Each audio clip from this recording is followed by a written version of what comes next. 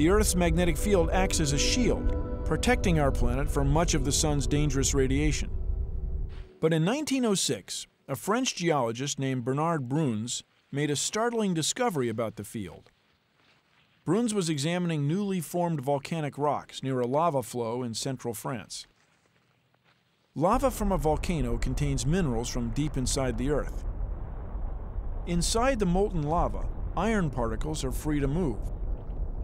But as the flow begins to cool and form into rocks, the iron particles align themselves according to the Earth's magnetic field, like a compass. They become a fossilized snapshot of the Earth's magnetic field in action. But during his research, Brunhes found some of the rocks contained iron particles that were magnetized in the opposite direction. Their compass needle had flipped, pointing south instead of north. This was the moment of discovery.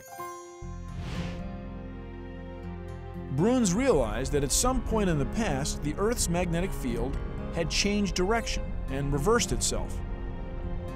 It was a significant discovery. It meant that Earth was a far more dynamic planet than many had imagined, constantly changing. We can see that the Earth's magnetic field has reversed about 60 times in the last 20 million years. That's once every couple hundred thousand years or so. And we may be going through a reversal right now because the Earth's magnetic field has decreased in strength about 10% in only the last century and a half. Now, no one's exactly sure why this happens, but Brunhes' discovery does raise a provocative question. What happens when the Earth's magnetic field goes to zero? The answer may lie on Mars. Scientists have detected that the red planet once may have had a magnetic field, powered by a furnace-like core, just like the one on Earth.